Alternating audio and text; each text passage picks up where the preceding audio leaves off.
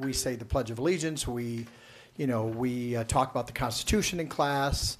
You know, there's a lot of references to God about things we talk about. So what this is, again, it mirrors Texas's bill, and it is an opt-in. It's not a mandatory, it's an opt-in should a teacher want to teach about the Ten Commandments.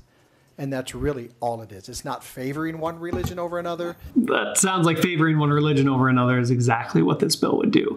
It would create in the law permission to teach one religion, whereas other religions don't have that protection, and presumably that's not allowed for them to do it. Um, if you wanted to make this not favored, then you, well, you just wouldn't have the law at all.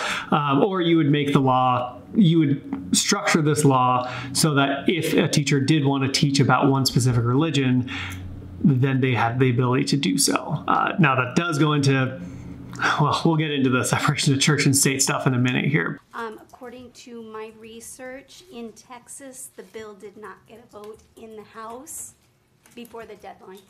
So it is not a law in Texas. That's funny. So, as part of his justification for this bill being able to become a law, he compared it to Texas, where he said a similar bill was brought. And so, since they did it, we can do it. No big deal, right?